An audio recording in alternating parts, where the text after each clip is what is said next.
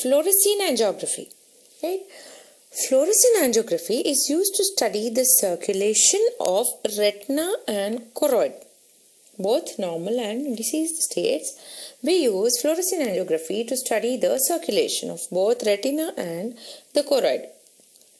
So what we do is we take black and white photographs after an IV injection of 10% sodium fluorescein. We inject the 10% sodium fluorescein in the antecubital vein of the patient and then we take black and white photographs of the fundus.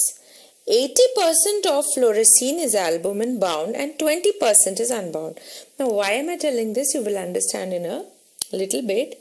So 80% is albumin bound and 20% is unbound. And it circulates in the vasculature of the retina and choroid which can then be visualized.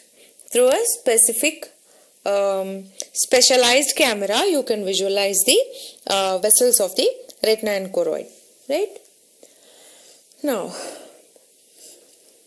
10% sodium fluorescein dye as I have just said it is injected through the antecubital vein and it has five phases in which it circulates in the retinal circulation. It's important to remember these phases. So it reaches the ophthalmic artery in 8 to 10 seconds. From there it will have five phases. Okay, These are the pre-retinal phase, the retinal phase, the arteriovenous phase, the venous phase and the late recirculation.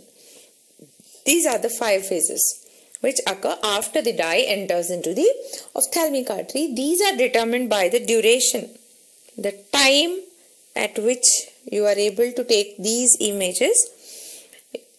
Depending on the time, you will classify whether it is in pre-retinal stage or the venous stage or whatever the stage in the five stages. Okay. The first choroidal vessels will fill and then the retinal vessels will fill up. Okay if now in pathological cases if the endothelium is damaged endothelium of the blood vessel is damaged the dye will start leaking out from the uh, vessels. It's understandable right? So the dye will leak out of the capillaries into the retina okay? Whenever there is a damage okay?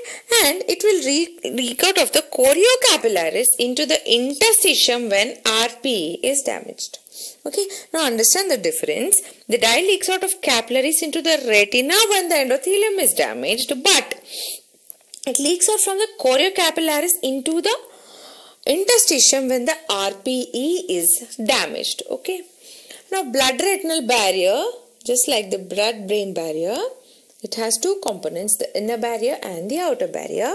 The inner barrier is formed by the endothelium of the vessel and the outer barrier is formed by the retinal pigment epithelium. It can sometimes ask be, uh, be asked as a question, so just to mention over here. Now let's get back to fluorescein angiography. This is what you will see on a normal fluorescein angiograph. You can see the dye passing through all of these vessels and the, there's no leakage anywhere in this image. So this is a normal fundus fluorescein angiograph. Now, as compared to the previous picture, you can see that this one has a dark background, right? That means the choroid is dark in color. So this disease is called the Stargardt's disease. Okay. So you will see stars in the darkness. That's how you can remember this. The Stargardt's disease has a dark choroid on fluorescein angiography. And as we have discussed in our retina classes about central serous retinopathy, we know that it will have this typical smokestack appearance and the ink blot appearance on fluorescein angiography smokestack and ink blot. Characteristic diagnostic findings of your CSR. Okay. Now, let's proceed to another modality of imaging that is indocyanine green. It is much similar to fluorescein angiography. The only difference is that you're going to use indocyanine green instead of sodium fluorescein. Okay. It's 90% bound so the diffusion through the fenestrations of choriocapillaris is limited. So it it flows only through the choriocapillaris so you can easily image these capillaries. Okay. Retention of ICG makes it ideal for imaging choroidal vasculature. Sodium fluorescein cannot be retained in it. Indocyanine green because it is 90% uh, protein bound, it stays within the vessels of the choroid. So you can image these vessels.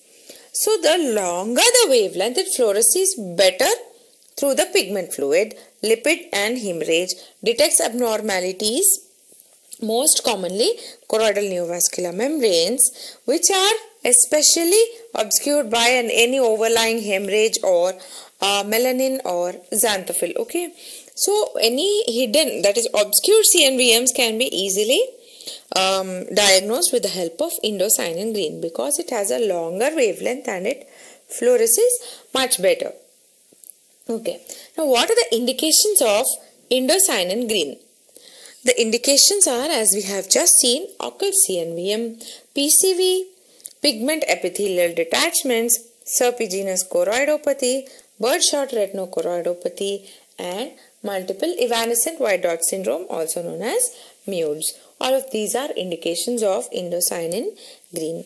Now see, this is how you will see the polyps in polypoidal choroidal vasculopathy on an investigation of ICG, that's indocyanine green. Okay.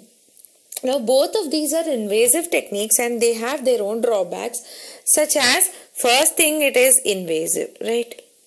Next, it can cause adverse effects in the patient, adverse drug reactions. Third one, Worst case scenario, it can also cause anaphylaxis in patients. Hello everyone, this is Dr. Sai Suguna, your mentor for ophthalmology at MedicoApp. Now, thanks for watching the video. Now we have put such videos all together in our ophthalmology app. The trial version you can download from the link over here or in the description box below.